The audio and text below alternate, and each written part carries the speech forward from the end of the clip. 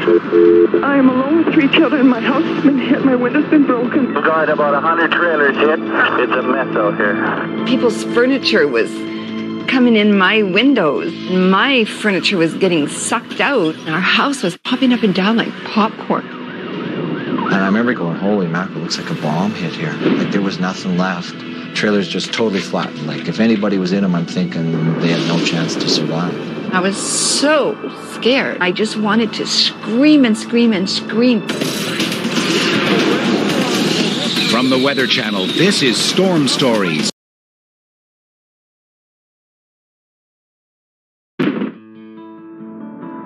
July 31st, 1987, Canada. In Edmonton, Alberta, the day breaks with unusually warm temperatures and high humidity. By noon, the mercury reaches 81 degrees. Severe thunderstorms out of the southwest are forecast for the afternoon. 30 year old Marin Wilson lives in Evergreen Mobile Home Community with her husband and four boys, whose ages range from 10 months to 11 years old. While her husband is away at work, Marin plays outside with the children. She notices the unusual weather conditions. I was sweating, and I, we don't usually sweat here because the weather's very dry. And I thought that was really odd. Things are about to become even more strange.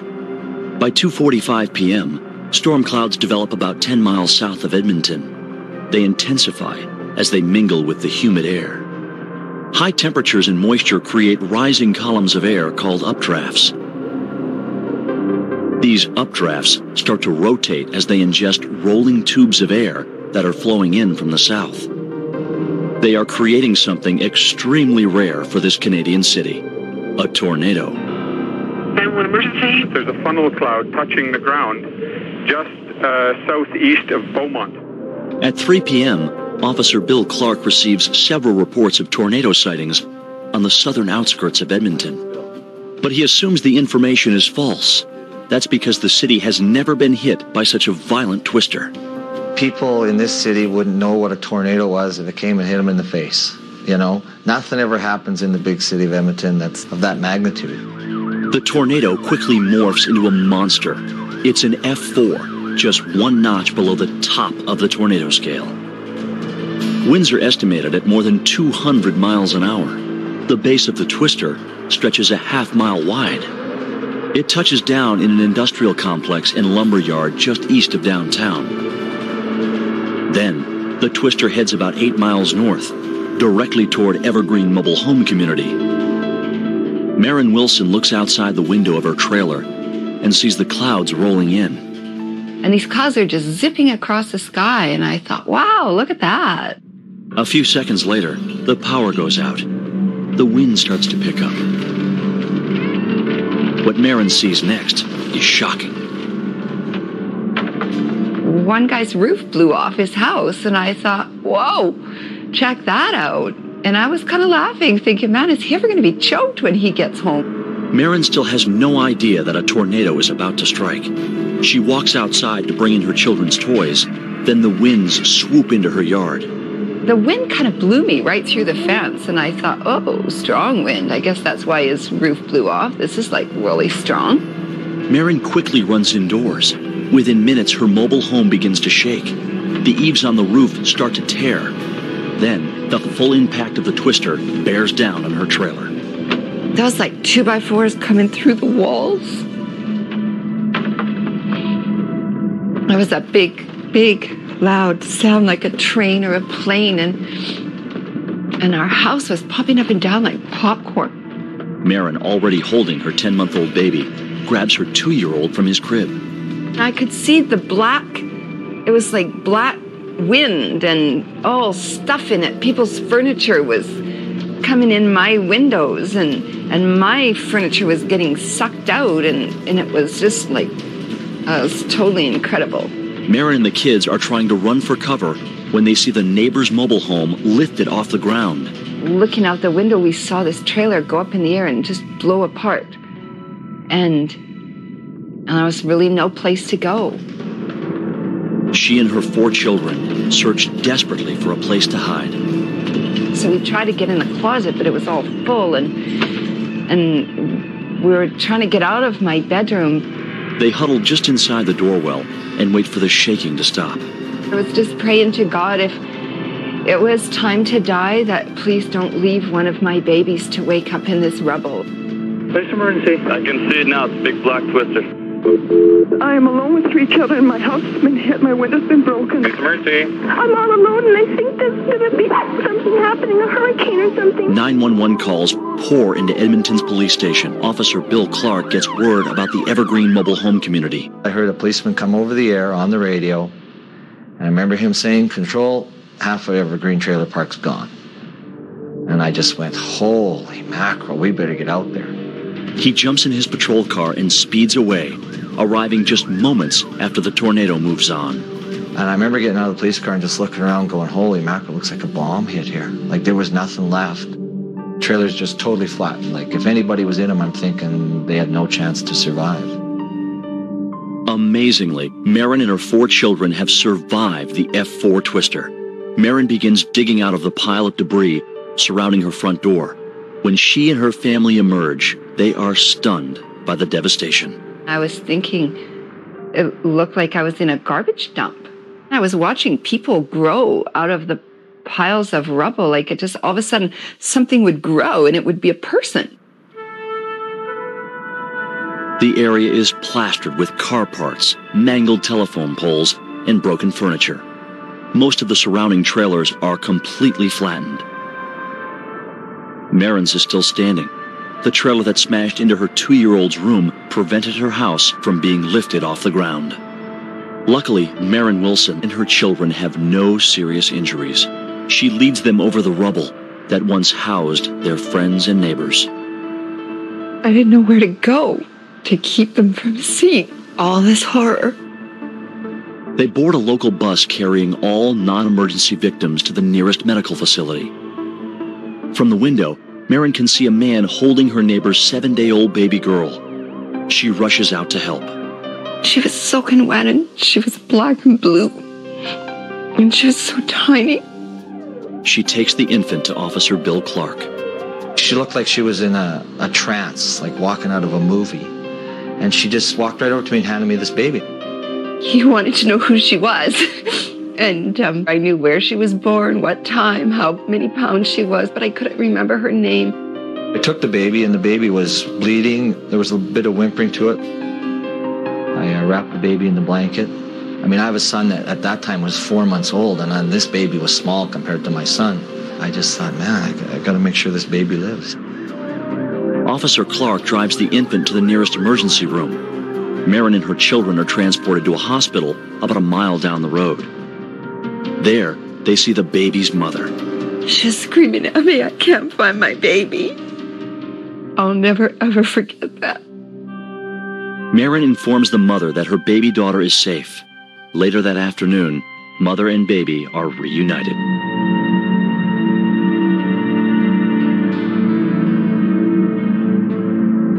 The twister has killed 27 people, including 15 from the Evergreen mobile home community. More than 300 homes have been destroyed. The people of Edmonton rally together to help the victims, donating whatever they have to pay for the $330 million in damages. Boy, when something like this happens, everyone forgets their troubles and they go, hey, this is much more important. They pull together, it's phenomenal. In the years since the tornado, Marin Wilson has remarried. Her oldest boy has grown up and lives on his own. But Marin still struggles with memories of the disaster, especially during tornado season. Yeah, the clouds turn black and I'm like, I don't do it well. Sometimes I'm able to just phone my husband if he's at home and say, you know, and, and I know they're laughing at me. Okay, everybody check in. Mom's going to be phoning in a panic. And if we're not here, she's coming. Even so, Marin refuses to leave Evergreen Mobile Home Community, the place she calls home. I need to stay here to be safe. It's really weird, but if I let that storm make me run, then I've lost any sense of control that I have. And then it will have beaten me.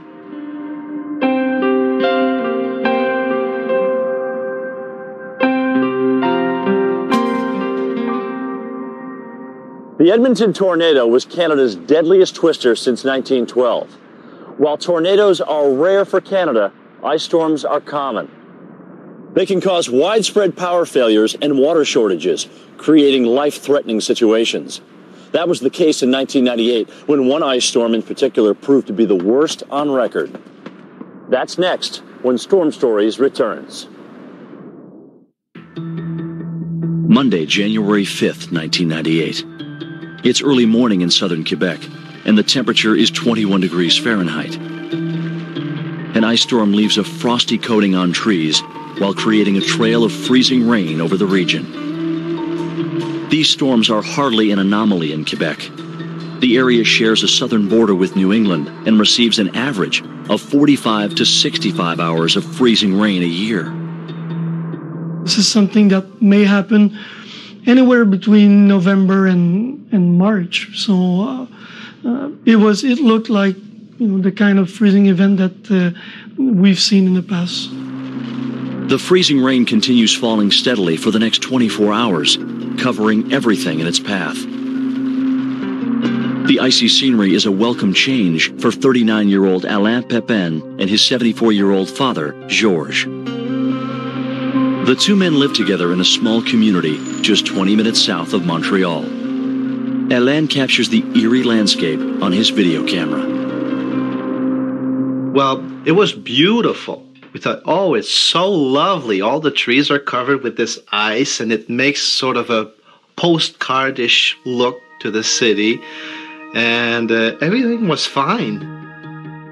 But little does Alain know that this ice storm is about to become one of Canada's worst weather nightmares. By day three of the storm, the danger is more evident. Meteorologist Dennis Gosselin arrives for work at Environment Canada. He's shocked when he sees the latest weather data. I received my my uh, my maps. Um, then I realized that uh, something major was coming, and the quantities that were forecast by the uh, the numerical guidances that we use uh, were also quite scary. Weather maps show a very slow moving storm system coming from the Gulf of Mexico. It will continue to pump moist and unseasonably warm air northward for several more days. Meanwhile, temperatures are predicted to remain below freezing in southeastern Canada. This combination of warm over cold air is deadly. Snow was actually melting in the warm air and then freezing uh, when it touched the ground in the cold air. And the humid air mass will continue to enhance the heavy rains into a shallow layer of freezing cold air near the ground. Sure enough, by Thursday, January 8th, Montreal and the surrounding areas are wrapped in sheets of ice four inches thick. Quebec's power company, Hydro Quebec, announces that hundreds of their major power lines are down. In many places, you had uh, trees, you know, that were broken, branches falling off uh, uh, on the street, uh, trees that were that were partly uh, obstructed by branches and ice and all sort of things. A staggering 1.4 million households are now in the dark, including Alain Pepin. That creates a serious predicament for Alain, who is caring for his elderly father. When I got really concerned about the situation is when I heard on the radio that uh, major power lines had collapsed. That's when I knew we were in for a long stay without power. The only thing that we could do was to put on more clothing. I slept with my snowmobile suit, and uh, that pretty much kept me warm. Chief Ron Barron of the Montreal Fire Department knows this is a large scale emergency. It's the worst he's experienced in 24 years on the job. Ron begins walking door to door along with police and military personnel to check on some of Montreal's 3 million residents. He is stunned at what he discovers. We came across several cases where people were actually suffering from hypothermia. They were in sleeping bags, they were in blankets, but when you looked at their extremities, their fingers, their lips, they were actually turning blue. If we wouldn't have intervened, maybe within an hour, maybe several hours, these people wouldn't have been with us. Thousands are forced to flee their homes for local shelters. Others stay home and use dangerous tactics in an attempt to keep warm. we started to see people with candles, people with makeshift cooking apparatus that were having little fires start. We had people in apartment buildings that were sleeping in their cars with the engine running and therefore creating carbon monoxide. Alain Pepin and his father discover they are running low on food and lamp oil. Alain must brave the storm to make an emergency trip to the store. However, Alain's car is covered by four solid inches of ice. If we wanted to use the car, we had to chisel with a hammer, chisel the door, the ice from the door, and just try and get inside that way. Alain drives in the icy conditions to a local gas station that's running on a generator. Once there, Alain gathers supplies to bring back home to his dad. My father had set up a car battery in the kitchen, and he would light up these two lamps that that uh, that he set up.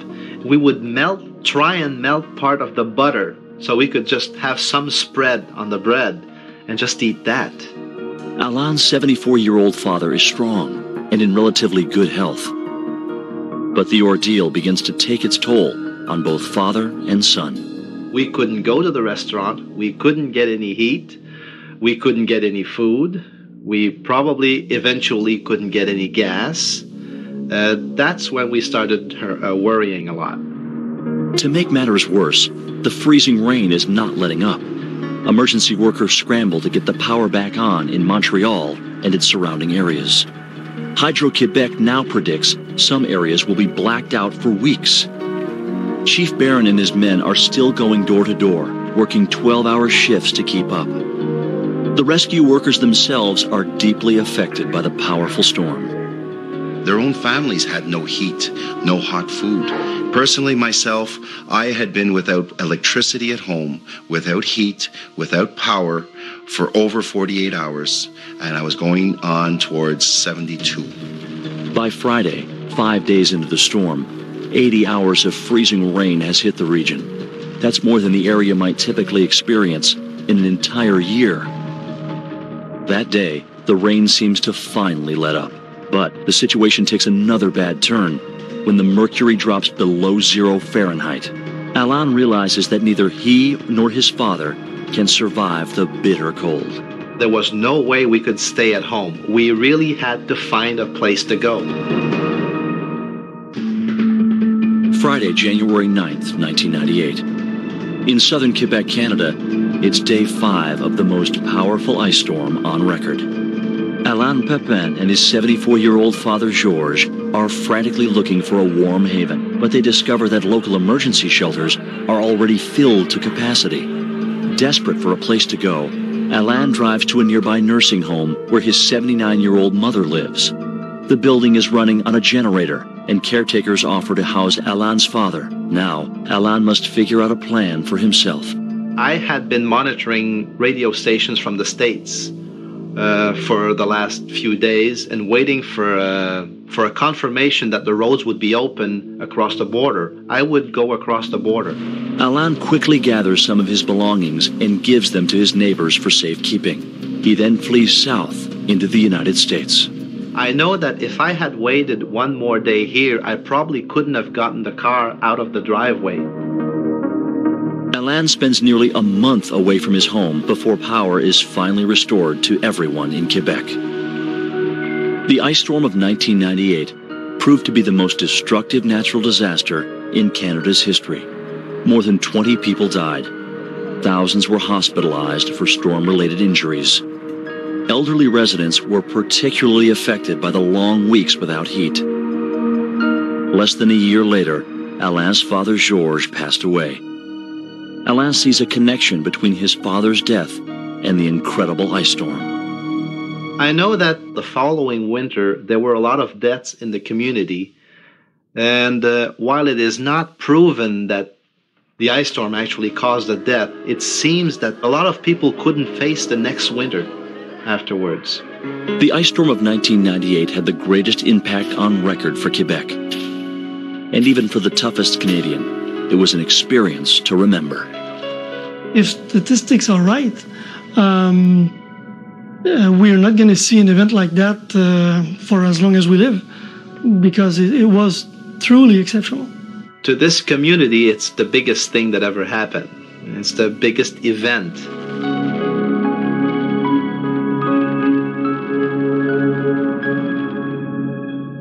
The ice storm of 98 was so severe that Canadian troops were activated to help out.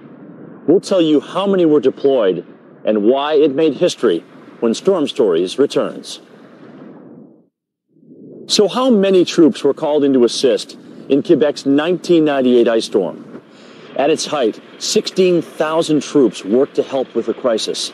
It is the largest peacetime deployment of Canadian forces in the country's history. For Storm Stories, I'm meteorologist Jim Cantore. Your local forecast is next. This